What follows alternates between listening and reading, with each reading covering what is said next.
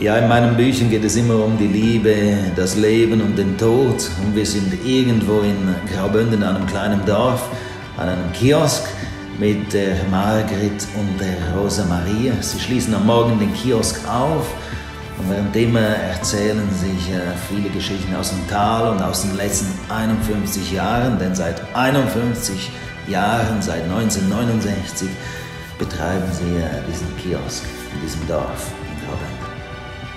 Ja, wir sind in diesem kleinen Dorf in Graubünden. Das Dorf heißt Davanasa. Dort bin ich aufgewachsen und an diesem Kiosk, wo das Buch spielt, bin ich als Kind oder meine ganze Schulzeit über viermal pro Tag vorbeigegangen, um in die Schule zu gehen. Und der Kiosk, das war immer die große Versuchung. Und jetzt habe ich diesen Kiosk zum Schauplatz von meinem Roman gemacht.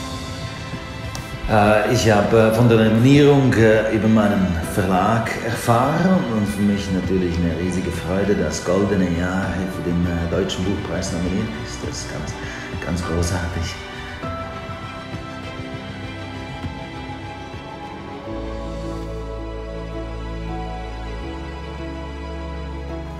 Auf zum Mond, sagte Margret und dreht den Schalter.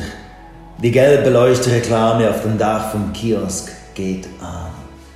Sie tritt zur Tür vom Kiosk raus und schaut zur Leuchtreklame hoch. Eine Freude ist das, wie schön sie leuchtet. Sie lächelt. Da geht einem grad das Herz auf, wenn wir am Morgen die gelbe Leuchtreklame einschalten, in aller Herrgottsfrühe, wenn auch die letzten Sterne im Himmel sind.